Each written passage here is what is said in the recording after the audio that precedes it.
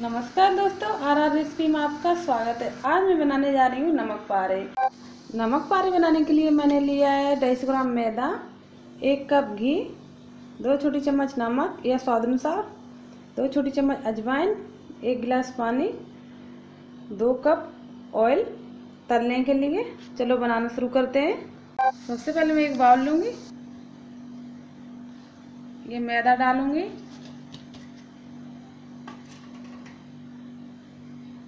अब इसमें हम घी डालेंगे।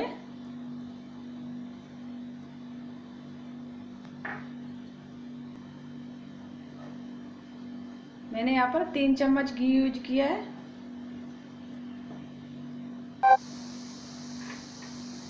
अब ये नमक डालेंगे। अजवाइन डालेंगे। इसे मिक्स कर लेंगे अच्छे से। अब पानी डालेंगे। अब इसका एक डो तैयार करेंगे हम।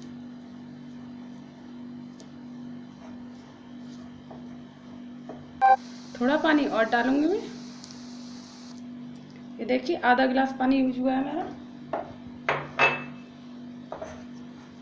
और इसे अच्छे से मिक्स करेंगे।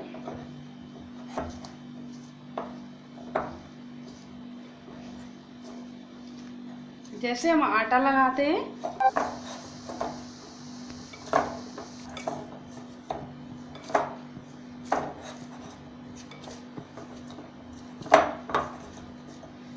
नमक पारे के लिए आटा हमारा तैयार हो गया है।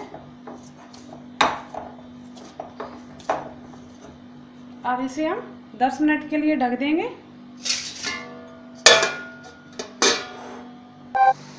दस मिनट हो गए हैं। अब हम मैदा को चेक करेंगे। ये देखिए, मैदा हमारी फूल गई है। अब इसे थोड़ा और गूंथेंगे।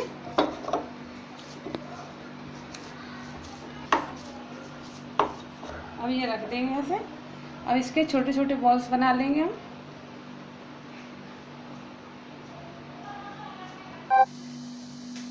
अब इसे हथेली की सहायता से हम इसे चिकना करेंगे।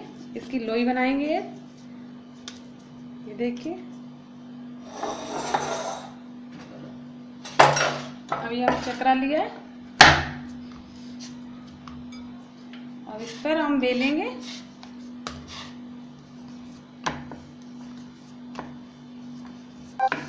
इसको ज़्यादा पतला नहीं करें। इसको मोटा रखें ताकि जो हमारे नमक पा रहे हैं जो, थोड़े क्रिस्पी बनेंगे।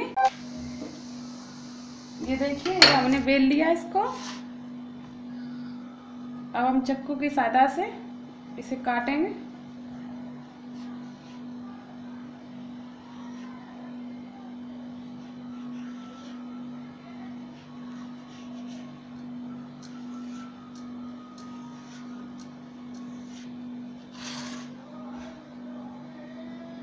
इसमें आप चाहें तो तीन कट लगा सकते हैं, लेकिन मैंने यहाँ पर एक ही लगाया है। अब हम गैस ऑन करेंगे, कढ़ाई गरम करेंगे, अब इसमें ऑयल डालेंगे। ऑयल को गरम होने देते ऑयल हमारा गर्म हो गया है। इसे चेक करने के लिए हम थोड़ा ये आटा डाल रहे हैं। पता चल जाए गर्म हुआ या नहीं। ये देखिए आटा हमारा फूल के ऊपर आ रहा है। इसका मतलब ऑयल हमारा गर्म हो गया। अब इसमें हम एक एक करके नमक पारे को छोड़ेंगे। गैस लो रखेंगे, क्योंकि इससे थोड़े अच्छे सेकेंगे, कच्चे नहीं रहेंगे बीच में।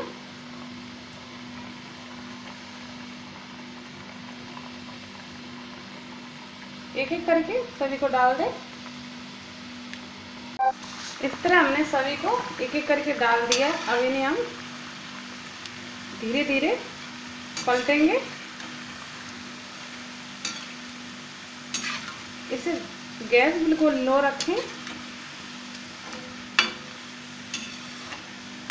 इसे धीमी आग पर ही सेकें।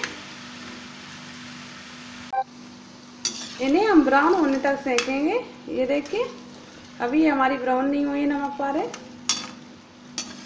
पारे अब इन्हें हम निकाल लेंगे कढ़ाई से।